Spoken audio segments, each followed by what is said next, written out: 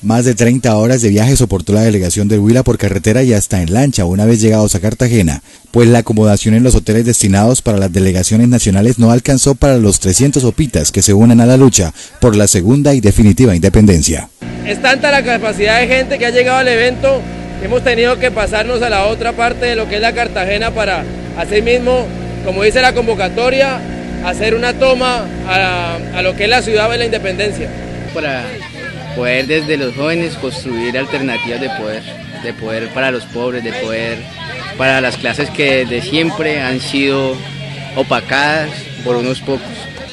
No sé, por apostarle a, una nueva idea, a un nuevo partido político, a ver si es diferente a los otros. Como jóvenes, pues estamos tratando a ver si hace la diferencia este partido por eso nos pegamos de viaje.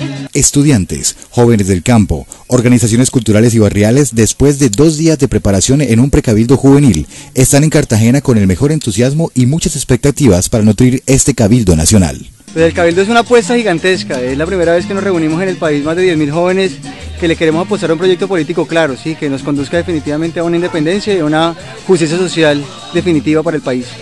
Vamos a ver si el cabildo y todo este encuentro y todo el viaje nos, nos llena algunas pues, soluciones que tenemos, más que todo nosotros por la universidad, por el estudio, por eso. Creo que la historia nos ha presentado un encuentro de este tipo, es eh, la confluencia de diferentes puntos de vista, de, diferentes formas de comprender y de pensarse el mundo desde, desde, desde la juventud. Entonces yo creo que cada, cada nicho, cada grupo, cada expresión tendrá sus propias visiones de qué es lo necesario para los jóvenes en esa perspectiva. Yo creo que lo que va a haber es un gran florecimiento de ideas.